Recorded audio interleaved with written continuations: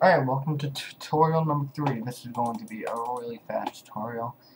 Um, this is going to be our tutorial on about changing your game mode name.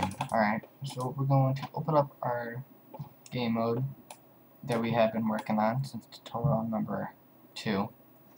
Last tutorial. Alright, so as you can see, we have right here we have public on game mode init. That means on game mode initially that means once we boot the server this is going to load. Right here as you can see this is blank script. We're going to name it to whatever our server is.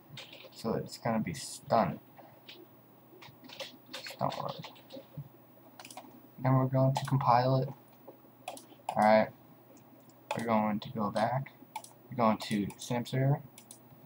We're going San Andreas multiplayer. Stunt world. Here you go. Tutorial number three. Let's go to tutorial number four.